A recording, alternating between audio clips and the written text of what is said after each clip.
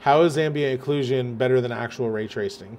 Well, so the thing is, you're just you're just not going to ray trace in in real time on like you know web based software, like things that have to run on mobile phones. You think you've got things like Unreal Engine and Unity, but even that only runs on you know an RTX graphics card, like a gaming computer. What I'm having to do is sort of reach things on the web. There's no support for like even web GPU yet for ray tracing. Now there will be eventually support for WebGPU will eventually add an extension for ray tracing.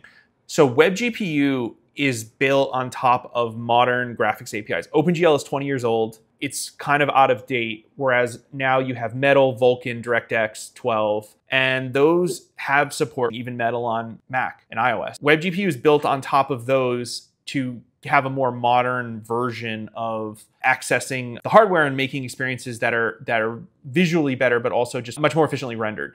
So the upside to that is that those underlying technologies do support ray tracing. So it's really only a matter of time until the browser vendors that make WebGPU expose an extension that allows you to do ray tracing when you have the hardware available.